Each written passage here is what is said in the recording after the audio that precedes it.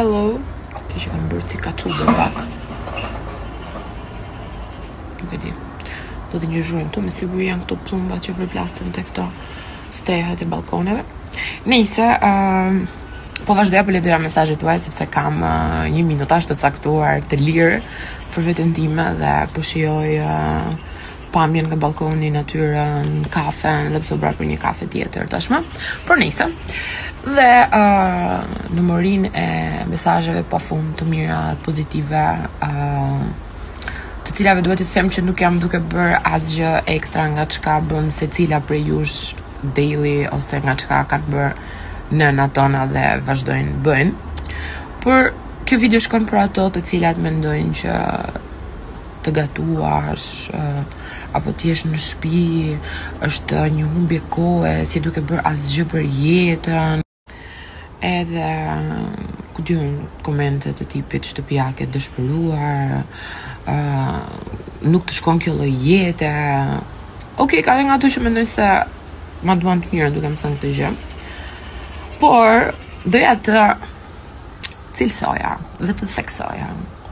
që jeta që po bëj është shumë e bukur. Jam shumë e lumtur dhe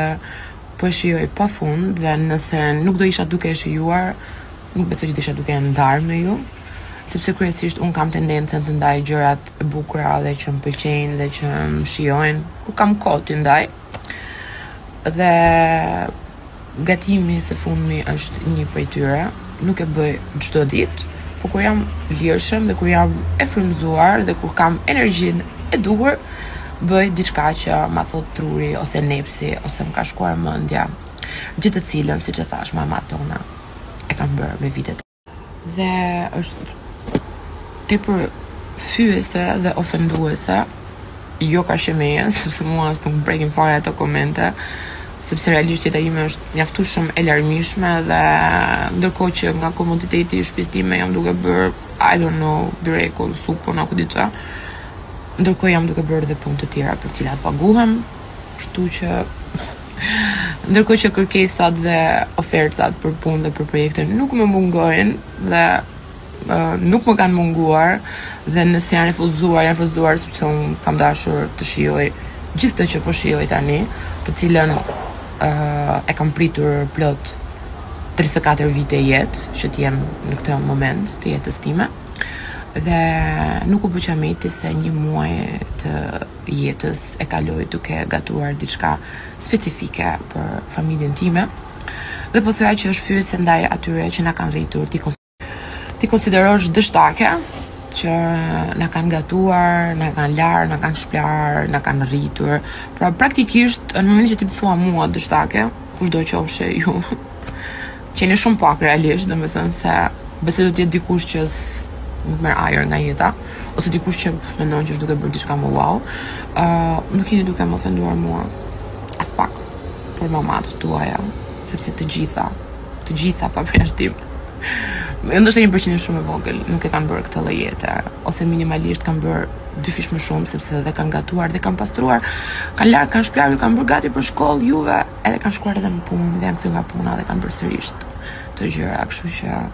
para se të mendoni se po më ofendoni mua, duke më thënë që po bëj një jetë dështake, gatimi apo shtëpi apo whatever, mendoni që keni fyer komplet mamatë tuaja dhe një brez të tërë grash që na ka rritur. Dhe këtë video nuk e bëra për shkak të energjisë uh, negative që ju keni, sepse nuk arrin dot kurrë të depërtojë tek unë ajo lloj energjie, sidomos kur lexoj pastaj qindra mesazhe që janë super pozitive, realisht ju jeni të papërfillshme, por doja ta ndaja këtë opinion timin, sepse e shoh që ka një tendencë ndaj disa vajzave, grave, që mendojnë se të bësh gruan, ndonjëherë do të thotë të mos bësh gruan. Nuk e di nëse më kuptoni, nëse më bën sens. Uh, është një bisedë akoma më e thellë dhe nuk dua ta përfshij feminizmin këtu në këtë gjë, sepse është shumë e thellë do e flasim diku tjetër bashkë në një moment tjetër. Jua premtoj për këtë gjë. Por Të bësh gruan do të thotë të bësh çfarëdo lloj gjëje që ty të bën të ndjehesh mirë dhe grua. Dhe nëse mua kjo më bën të ndjehem grua, atëherë unë bëj atë që më bën të ndjehem e tillë. Dhe nëse arritjet e mia profesionale apo në karrierë duartrokiten nga nga njerëzit e mi apo nga familja ime apo nga Dagzi, sigurisht që unë marr kënaqësi, satisfaksion, po në fund të ditës ngelet një arritje personale, individuale, ose pagesat që marr mbeten një arritje financiare e imja, personale. Ndërsa ky çasti në shtëpi ku unë gatuaj diçka dhe shoh Trevin që e ha me kënaqësi dhe boshatis pjatën ose ku shikoj Dagzin që që e shijon e pëlqen, është i lumtur me atë që po ha dhe s'po ha jashtë, ose familjarët e tjerë kur i ftoj për drekë apo për darkë, kënaqen, është një çast Kënaqësie në grup, një kënaqësi, një një arritje në grup, një arritje familjare dhe janë shumë të pakta momentet kur ti uh, merr kënaqësi në grup dhe jo individuale dhe mendoj që kjo është gjithë magjia dhe e veçanta e kësaj. Dhe doja të shtoja përmbyllje uh, për gjithë pjesën tjetër, ato të cilat uh, ndoshta preken nga nga komente të tilla ose ato të cilat janë uh, full time të dedikuara ndaj shtëpisë dhe familjes ndryshe nga unë që uh, jam pak më part time këtë pjesë ose jam kur ka mundësi ose ko uh, të mos preken nga komente të tilla sepse uh,